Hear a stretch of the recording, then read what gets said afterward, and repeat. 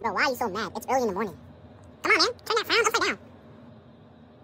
Yo, what's wrong with him? I don't know, bro. He just came to school mad. Bro, you got cramps or something? You need some pads? What is it? Why? Why are you so mad?